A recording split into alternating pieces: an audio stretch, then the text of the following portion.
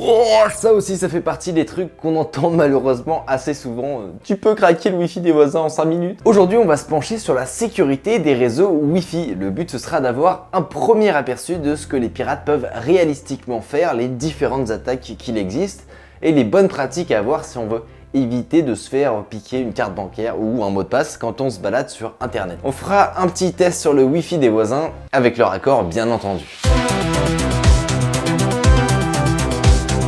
Alors pourquoi vous parler de tout ça? Faire une démonstration, à quoi ça sert? D'abord parce que c'est absolument passionnant comme sujet, déjà, c'est une bonne raison. Ensuite pour vous donner éventuellement quelques pistes, si vous avez peur de vous faire pirater votre Wi-Fi. Mais aussi parce que, encore une fois, dans tout ce qui est vol de mots de passe Wi-Fi, il y a un aspect humain qu'on retrouve à peu près partout. Et ça me paraît vraiment très important de vous en parler aujourd'hui. Comme la plupart des internautes, il y a fort à parier que vous regardez actuellement cette vidéo depuis un réseau Wi-Fi. C'est un protocole qui aujourd'hui a une certaine importance et c'est pas prêt de s'arrêter. Il y a qu'à voir les ordis ou les smartphones récents pour s'apercevoir que la tendance c'est plutôt le, tout sans fil. Le principal avantage du Wi-Fi c'est bien entendu son accessibilité. C'est hyper facile de se connecter à un réseau Wi-Fi, il a pas besoin de s'encombrer avec des câbles. Mais c'est aussi son principal défaut. Toutes les données transitent via des ondes électromagnétiques. Donc là où sur un réseau câblé, il est quand même assez rare qu'un mec se pointe pour se brancher sur le réseau et vous voler vos données, pour un réseau Wi-Fi, il n'a qu'à utiliser n'importe quel appareil avec une antenne pour observer le trafic. C'est pour cette raison qu'il a fallu trouver des moyens pour sécuriser cet échange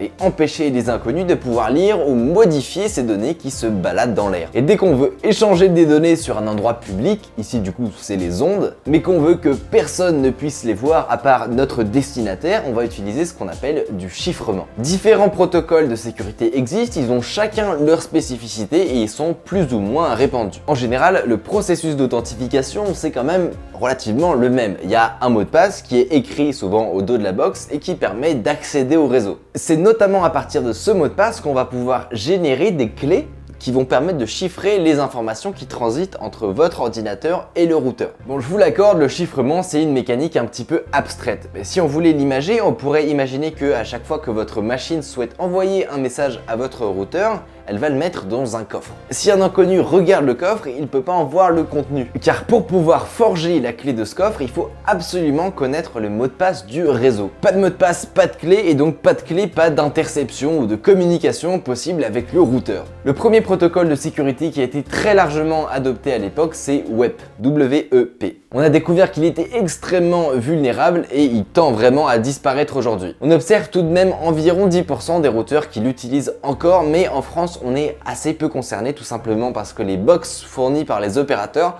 sont normalement en WPA par défaut. Mais presque personne, ça veut pas forcément dire personne, comme on le verra juste après. WPA et WPA2 ce sont des protocoles plus récents qu'on ne pensait pas vulnérables jusqu'à maintenant. Il y avait cependant certains procédés qui permettaient de faciliter les attaques dites par force brute. L'attaque par force brute, c'est un peu l'attaque du gros bourrin.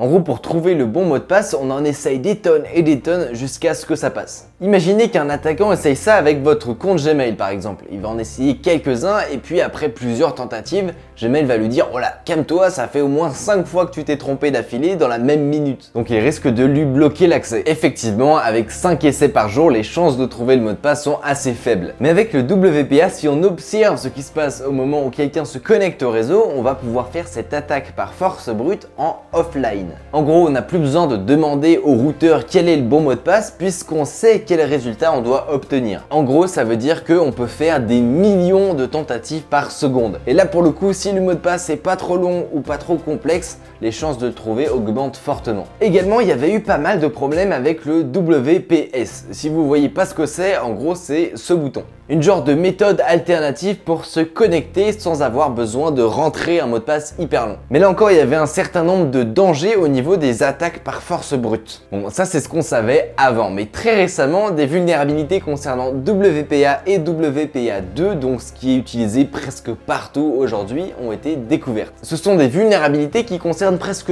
tous les appareils, surtout ceux sous Android ou Linux. Comme on pouvait s'y attendre, ça a fait un maximum de bruit dans les médias. Et comme c'est la mode en ce moment, on lui a donné un joli nom à cette vulnérabilité. Je vous présente Crack. Ce qu'il faut comprendre, c'est que ce n'est pas une vulnérabilité qui va permettre de trouver le mot de passe du réseau. À la différence de tout ce dont on a parlé précédemment. Si on reprend l'exemple de tout à l'heure, on va pas pouvoir trouver le mot de passe qui permet de forger les clés de chiffrement, mais on va pouvoir accéder au contenu des coffres et potentiellement le modifier. Et ça pour le coup, ça peut être assez grave, à peu près pour les mêmes raisons que se connecter à un réseau Wi-Fi public sans utiliser un VPN. Si vous vous rappelez plus exactement pourquoi, je vous invite à aller voir la vidéo que j'ai faite au McDo. Une piqûre de rappel, ça ne fait jamais de mal à personne. C'est pour ça que modifier son mot de passe, ça n'a aucune utilité dans ce cas, contrairement à ce qu'on peut voir sur internet. Il faut faire les mises à jour qui ont été proposées par les constructeurs peu après la découverte de cette vulnérabilité du moins quand il y en a une. Quoi? Revenir du web? C'est pas vraiment une bonne idée. Regardez, si on prend l'exemple de mes voisins par exemple, je sais pas pourquoi ils ont la bonne idée d'avoir une sécurité web. Alors soit ils ont une box complètement préhistorique, soit ils ont modifié des trucs qu'il fallait pas, je sais pas exactement, mais toujours est-il qu'ils sont toujours pas convaincus que ça peut être dangereux. Du coup, avec leur accord, on va essayer de leur prouver que effectivement leur choper leur mot de passe c'est possible et voir à peu près combien de temps ça prendrait. Alors voilà les réseaux aux alentours. Comme prévu, le leur a l'air vulnérable. Maintenant, il faut attendre un petit peu histoire d'avoir assez de paquets pour pouvoir recalculer la clé.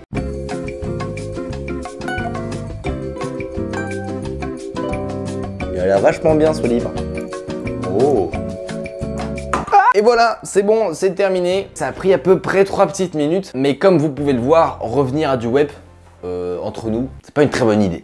Mais parler de la sécurité des réseaux Wi-Fi en énumérant simplement les différentes vulnérabilités et autres failles du protocole, ce serait passer à côté d'un point extrêmement important qui concerne le Wi-Fi par phishing. C'est les attaques les plus vicieuses en gros parce qu'elles vont pas utiliser une vulnérabilité en tant que telle, mais plutôt une vulnérabilité du cerveau on va dire. Imaginez vous surfez tranquillement sur internet quand tout à coup il y a cette page qui apparaît. C'est une page de connexion à votre réseau Wi-Fi. Et là il y a deux possibilités. Soit vous vous rendez compte tout de suite que c'est pas possible et vous commencez à flipper, soit vous vous en rendez pas compte, vous rentrez votre mot de passe et vous venez de donner accès à votre réseau Wi-Fi à Alors qu'est-ce qui vient de se passer? Je vais créer un faux point d'accès qui va copier celui de votre box, je vais vous dégager de votre réseau actuel pour vous obliger à venir sur le mien, et là je vais essayer de vous piquer votre mot de passe en vous affichant une jolie page qui soi-disant serait celle de votre opérateur. Et ces attaques elles commencent à être de plus en plus répandues. Si petit à petit les constructeurs et les éditeurs fournissent du matériel et des logiciels de plus en plus sécurisés, et eh ben, plus les attaquants et les personnes malveillantes vont utiliser l'aspect humain, les faiblesses de notre cerveau. Ces attaques par manipulation, on va dire, elles se basent sur une seule